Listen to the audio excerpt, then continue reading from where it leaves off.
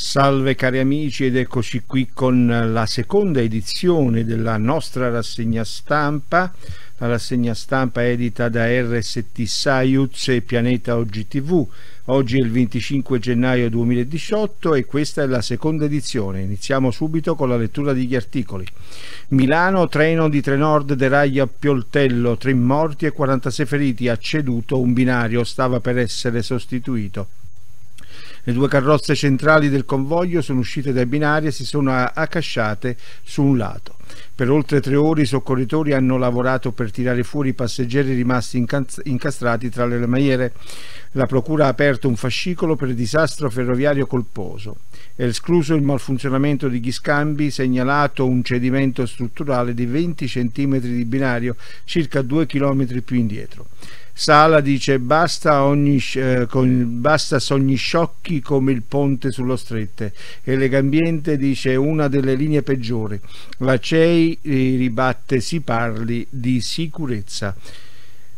Cari amici, continuiamo la nostra rassegna stampa. Regionali Lazio, Stefano Parisi, candidato del centrodestra, guida stabile e sicura, dice.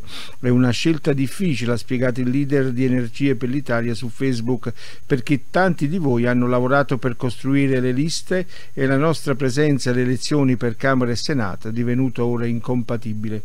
Il PD dice per loro la Pisana è solo moneta di scambio. Conti pubblici, il Die Welt scrive l'Italia è messa anche peggio della Grecia, poca speranza dai programmi elettorali. Secondo il quotidiano tedesco solo riforme radicali come in Grecia potrebbero cambiare qualcosa, tuttavia nessuno dei, dei contendenti alle elezioni le ha previste.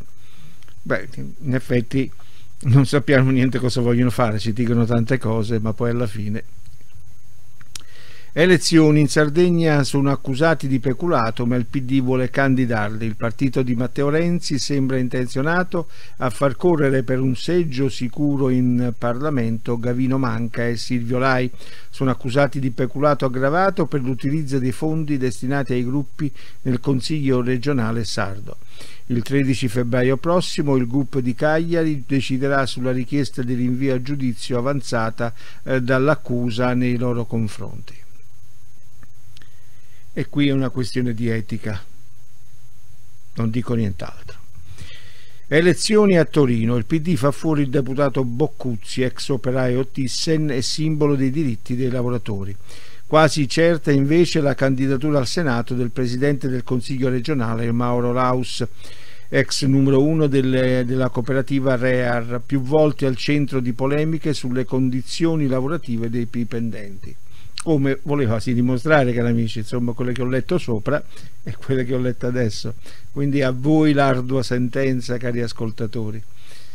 Bene, con questo è tutto, vi diamo appuntamento alla prossima rassegna stampa, vi ricordo che la rassegna stampa è edita da RST Science e eh, Pianeta OGTV. Buon ascolto con i programmi.